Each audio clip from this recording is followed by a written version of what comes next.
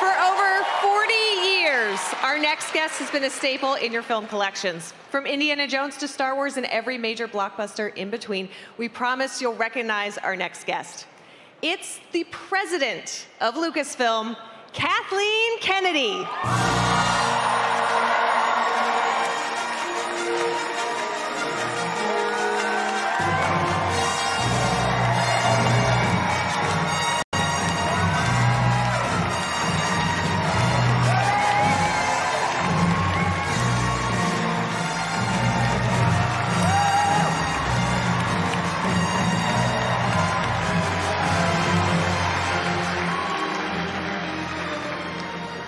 So much for oh, joining This us. great. This is great. Everybody looks so good. I walked the floor this morning. I saw all the cool stuff. I didn't have enough time to go back and buy things, but I will. So It is just a sea of fun. people. Sea of people. Sea of people. Did you guys watch some of the Ahsoka panel? Cool, huh? Great reveal. Great reveal. Fantastic. Now, I know this is Star Wars Celebration, but my first question is actually about Indiana Jones, if we'll allow it. For you personally, having been a part of Indiana Jones from the beginning, what has this 40 plus year journey been like for you? You know, it's actually, and I think you guys remember how emotional that Harrison got when he was talking about this. It's pretty amazing when you're involved in something that spanned this amount of time. And I think what you'll see is the minute this movie starts, you're going to feel like you were thrown right back in time. I mean, it is 100% an Indiana Jones movie, and that's how it felt every minute we were making it. So, very exciting. Very awesome. We're, I'm so excited. I know everyone here is very excited for Indy as well. But let's talk about Star Wars because it is Star Wars Celebration. That's what we're here for. Star Wars storytelling has really evolved a lot in the last decade. To you, what makes a great Star Wars story? What makes what, sorry? What makes a great Star Wars story? Oh gosh, I think there's many things that make a great Star Wars story. You know, the incredible thing that George left us was a, a- an amazing mythology, and it's very expansive, and it has meaning. That was the thing that George said to me over and over again: is whatever you do, make sure it has meaning. And I think that's what resonates with so many of us who love Star Wars is it makes you feel something.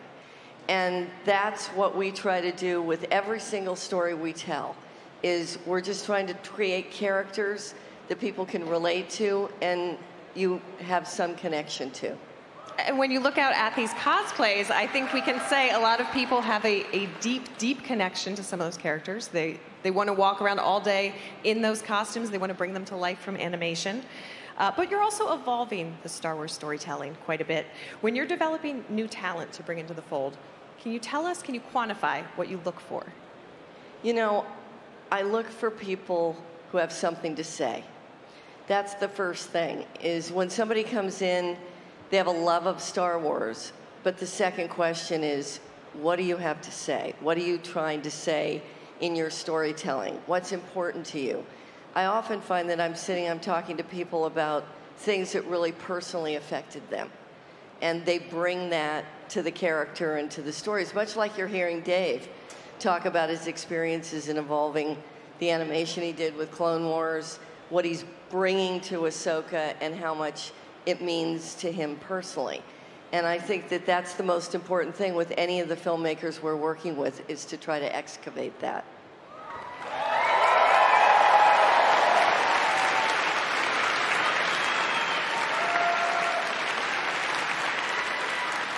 I appreciate that one clap for Dave and then thought that we're going to respectfully listen to the rest of the answer and then everybody clapping. That was good.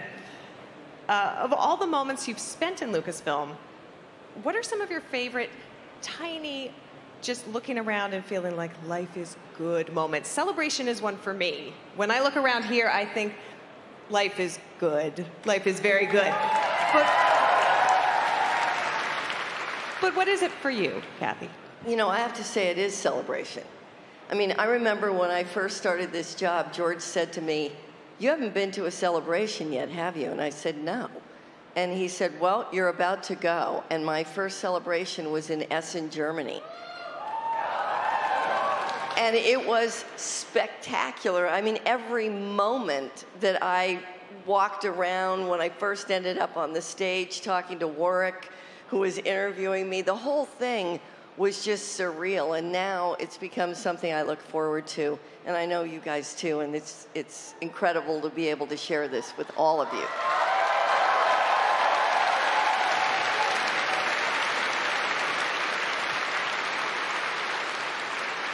Now, for the past few years, Star Wars has been primarily on in TV series form on Disney Plus streaming. We've of course had an embarrassment of riches with The Mandalorian, Obi Wan Kenobi, Andor, all of the animation.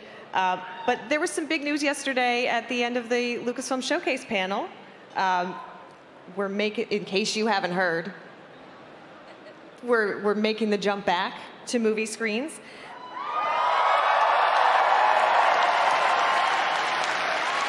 There were some amazing guests yesterday, but one of the, the surprise guests for me was our own Daisy Ridley. A, pretty fantastic moment.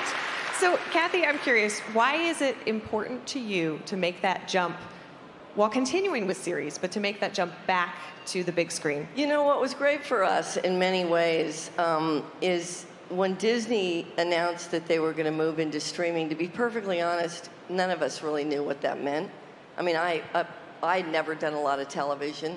Jon Favreau had never done a lot of television. He and I were talking about The Mandalorian early on, but at the time, a lot of our discussions were around doing movies.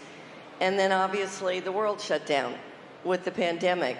So our focus became on television. And what was interesting for all of us at Lucasfilm is we realized what an amazing opportunity to experiment and explore different stories and to do things that we might not necessarily have done in the movie space right away because the inclination would have been to just carry on with the saga and not necessarily move in these different directions. And what this has ended up doing is it's created this rich landscape for us now to have new characters that we've developed that we can now look at moving into the movie space.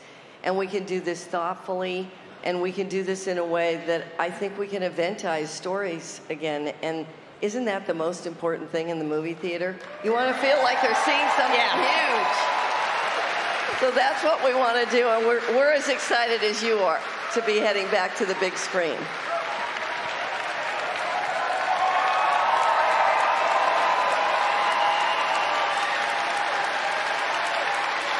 I don't want to speak for the crowd, but I think they cannot wait.